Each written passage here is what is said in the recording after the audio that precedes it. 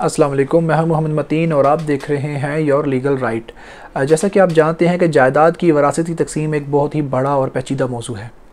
हम कोशिश करेंगे कि अपने आने वाली वीडियो में इसके ऊपर एक डिटेल वीडियो बनाई जाए ताकि आपको ये गाइडेंस हो सके।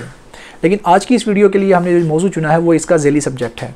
और वो कुछ यूँ है कि अगर जायदाद का मालिक जो फौत हुआ है, उसके वारसान में उसकी बेटी एक या एक से ज़्यादा बेटियाँ हैं, उसकी बहनें ज़िंदा हैं या उसकी बेवा मौजूद है और इसके अलावा नज़दीक या दूर के रिश्तेदारों में कोई भी मौजूद नहीं है तो उस जो हमारा मुस्लिम इनहेरिटेंस लॉ है, उसके मुताबिक इनको अपना जो रिक्वायर्ड पोर्शन है वो तो मिलेगा। फॉर एग्ज़ाम्पल अगर बेटियाँ हैं तो उनको टू थर्ड पोर्शन मिलेगा और अगर बीवी है तो उसको वन ओवर फोर्थ एक बटा चार हिस्सा मिलेगा तो जो बाकी का हिस्सा है वो कहाँ जाएगा? इसी ज़िमन में हम आपको ये भी बताएँगे कि डॉक्ट्राइन ऑफ़ रद्द या डॉक्ट्राइन ऑफ़ रिटर्न ये क्या है, इसको किस तरह अप्लाई करके जो रिमेनिंग पोर्शन है, उसको भी आप क्लेम कर सकते हैं। तो हाल ही में हमारे पास एक केस आया था जिसके अंदर भी सेम मसला दरपेश था। उसमें दो बहनें मौजूद थी जो अपनी प्रॉपर्टी अपने मरहूम भाई से इनहेरिट कर रही थी। इन दो बहनों के अलावा इनका इस दुनिया में कोई भी दूसरा वारिस या रिश्तेदार ज़िंदा नहीं था, मौजूद ही नहीं था। तो इन्होंने जब पहला, पहली दफ़ा प्रॉपर्टी को ट्रांसफ़र करने लगे तो पाकिस्तान के अंदर रूल है, जो तरीक़ाकार है, वो ये है कि आपको सबसे पहले inheritance certificate concern civil code का चाहिए होता है।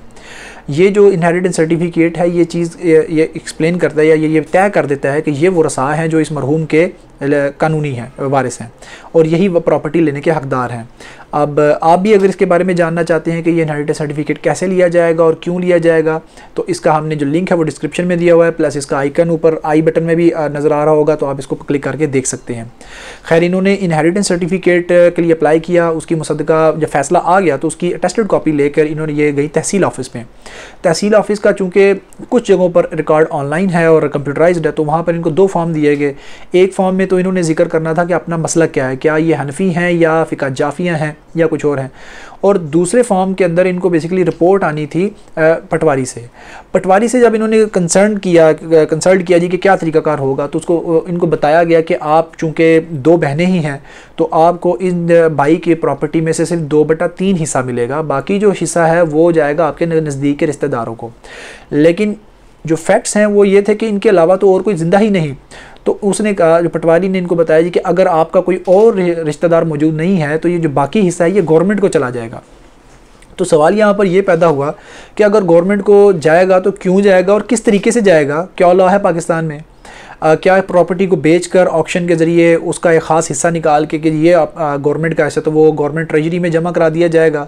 या इसका दूसरा पहलू ये हो सकता है कि कोई ऐसा लॉ तो होना चाहिए कि इसको भी वापस क्लेम किया जाए। तो जी हाँ इसका एक बाकायदा कानून है जो मोहम्मदन ला के अंदर तय किया गया है।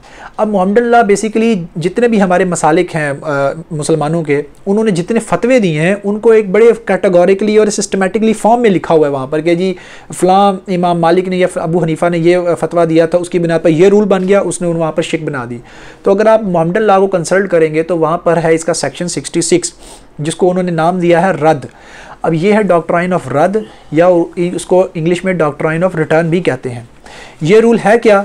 मैं आपको ज़रा इसका अल्फाज पढ़ के सुना देता हूँ कि if there is a residue left after satisfying the claims of share but there is no residuary अब जो रेजिड्यू है वो है हिस्सा, कि भाई हिस्सा रह गया है, हिस्सेदारों में तकसीम होने के बाद, और मज़ीद कोई हिस्सेदार मौजूद नहीं है तो क्या होगा? The residue reverts to the share in proportion to their share तो वो जो हिस्सा है, वो दोबारा उन्हीं शेयर के अंदर प्रोपोर्शन में डिवाइड हो जाएगा, तकसीम हो जाएगा। The right of reverter is technically called return और रद्द, और इस जो जो रिवर्टर का जो तरीकाकार है, इसको रद्द या रिटर्न कहते हैं। इसकी एग्ज़ाम्पल कुछ समझ ले तो वो यूँ है कि अगर फ़र्ज़ कर लेते हैं कि अगर ये जिस तरह केस है, ये दो बहनें ज़िंदा हैं तो ये लीगली जो हिस्सा है इनका, वो दो बटा तीन बनता है। जो बाकी एक बटा तीन हिस्सा है, वो वो रूल ऑफ़ रद्द के तहत इनको वापस मिलेगा। लेकिन अगर आप इस सिंपल इस लॉ को, इस सेक्शन 66 की कानून को उठा के, पटवारी के पास पेश करें जी कि ये चूँकि कानून मौजूद है, लिहाजा बाकी जो हिस्सा है वो भी मेरे नाम में ट्रांसफ़र करें, वो ऐसा नहीं करेगा। क्योंकि ये उसके दायरा इख्तियार में नहीं है। इसके लिए बाकायदा आपको अदालत के पास जाना पड़ेगा और अदालत में अपना एक केस फ़ाइल करना पड़ेगा।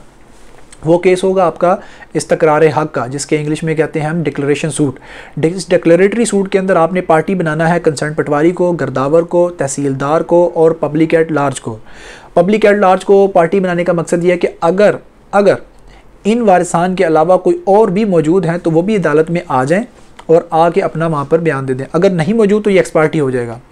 अब जो ये सूट फ़ाइल करेंगे सूट फ़ाइल करने के बाद आपको पहली तारीख मिलेगी, जिसके अंदर आप अखबारी इश्तहार जमा करवाएँगे नोटिस होंगे इन अखबारी इश्तहार का मकसद भी सेम है कि अगर कोई और वारिस मौजूद है तो वो आ जाए। सेकंड जो हेयरिंग होगी, उसके अंदर बयान कलम बंद होंगे। इसमें जो वारिस है, जिसने ये सूट फ़ाइल किया है, वो प्लस अपने साथ एक इंडिपेंडेंट गवाह को लेकर आएगा। वो वहाँ पर अपनी स्टेटमेंट देंगे कि जी वारिस तो ये स्टेटमेंट देगा कि मैं इसका वारिस हूँ, इसके अलावा और कोई मौजूद नहीं है, और इसकी ज़िंदगी में सारे फोत हो गए थे, मैं अकेला रह गया हूँ। और जो गवाह है वो भी इसी को कॉपरेट करेगा, यानी सपोर्ट करेगा जी कि मैं इस शख्स को जानता हूँ और ये इसी का बेटा है या इसी का वारिस है। इसके अलावा इसका कोई और वारिस मौजूद नहीं है। जब ये स्टेटमेंट हो जाएँगी मुकम्मल, इसके बाद अगला मरहला आता है और वो है अहम और वो है फाइनल आर्गूमेंट्स का।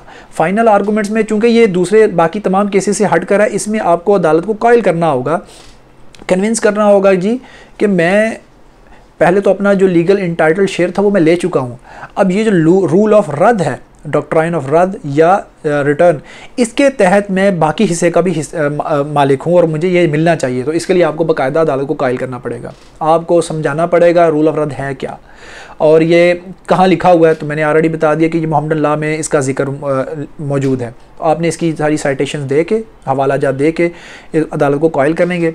कायल करने के बाद जब ये अदालत आपके हक़ में फ़ैसला दे देगी। फ़ैसला जूँ ही दे देगी, आपने इस फैसले की जो टेस्टेड कॉपीज़ हैं वो लेनी है और वो लेकर आपने तहसील ऑफ़िस में जाना है, जहाँ पर आपका बाकी सारा प्रोसेस मुकम्मल करते हुए जो रिमेनिंग शेयर है वो भी आपके नाम पे ट्रांसफ़र कर दिया जाएगा। ये तो है पाकिस्तान के अंदर एक वैलिड तरीका, कानूनी तरीका जिसको आप अख्तियार करते हुए प्रॉपर्टी को अपने नाम पर ट्रांसफ़र कर सकते हैं।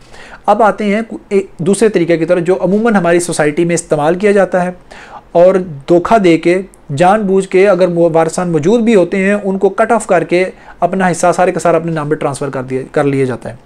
और वो क्या है? वो ये है जी कि अमूमन जो फ़िका हनफी हैं, वो अपने आप को इस सिचुएशन में कि अगर उनका कोई और मौजूद नहीं है या मौजूद भी हो, वो अपने आप को अहल तशी या जैसे हम ये अहल तशी का बेसिकली जो फ़िका है, वो फ़िका जाफिया वो शो करते हैं। वो कैसे शो करते हैं कि वो जो कंसर्न इमाम बार, बारगाह है, वहाँ पर जाते हैं और जो जाकिर साहिब हैं, उनसे एक सर्टिफिकेट ले लेते हैं विद टू विटनेसेस कि जी हम तो जद्दी पुश्ती फ़िका जाफिया से तल्लक़ है हमारा।